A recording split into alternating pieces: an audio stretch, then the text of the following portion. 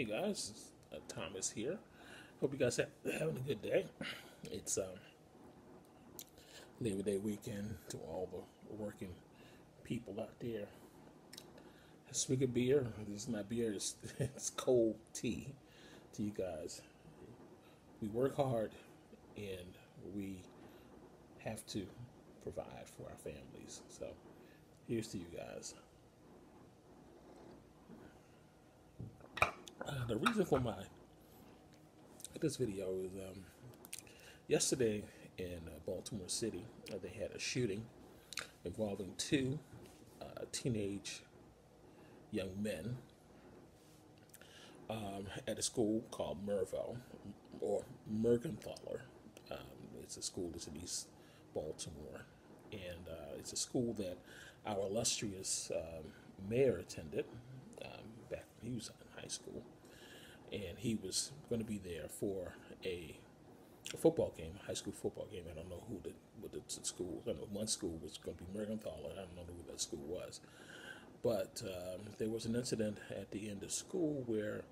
Um, there was an altercation between two other students, one student from another school and another school from, and and the one of the students from Mergenthaler, which ultimately ended in uh, bloodshed, where the student from Mergenthaler was was shot and killed, and it made me feel really bad because, for one thing, I have a I have a a, a child, um, and he's high school age, and he's a young black male as, as well.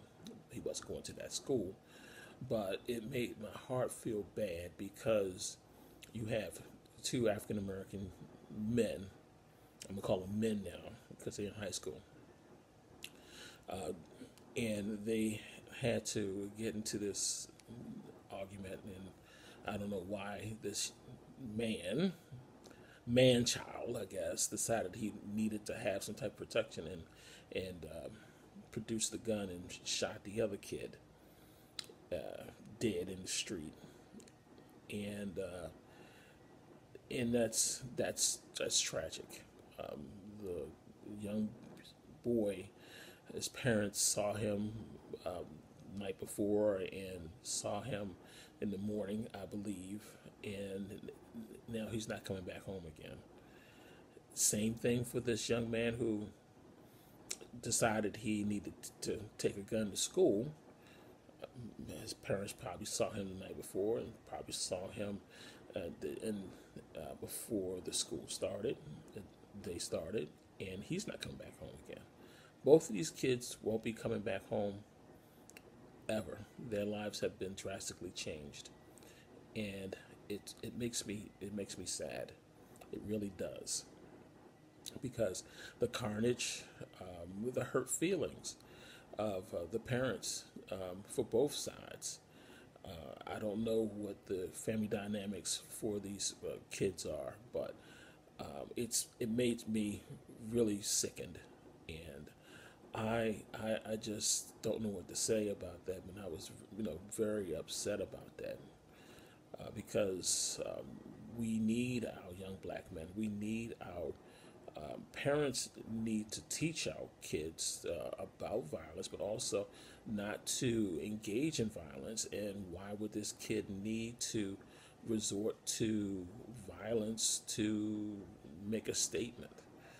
Uh, I, I don't know the family dynamics of, of, of, that, but I'm but as a parent myself, um, I don't use I don't have any I, I don't really believe in using that not unless you're threatened or your family member is threatened or there's a justification as to that. And I, I wasn't there, so I'm not party to that, but I know as a, parent uh, how my heart would feel if someone um, had hurt my kid or um, that my child is not coming back home again. And it's, it's a real tragic situation. I, I want to speak to about Baltimore City Public Schools. I'm a proud graduate of Baltimore City Public Schools. And you had the, the mayor there, and you had the the CEO of, of Baltimore City Public Schools um, there for that game also because the mayor's going to be there, and you have gun violence.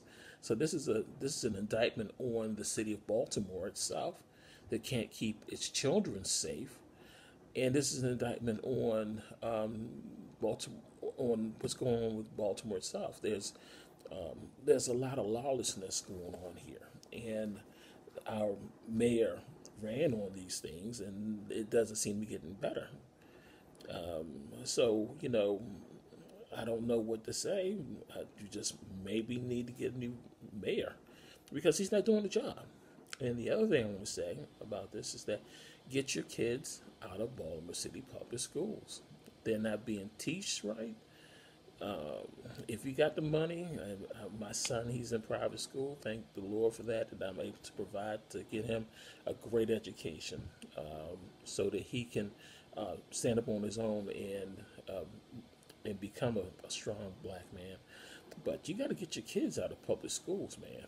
Um,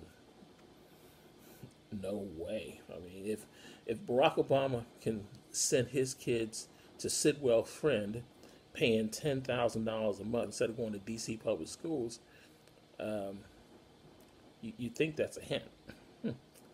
but anyway, um, I'm just I just want to make a make that comment. Okay. You guys take care. That's just me just sounding off about this whole situation. All right, guys. Um, to loved ones, family of the of the murdered child, I'm sorry. I, I really am. Okay, guys. Peace.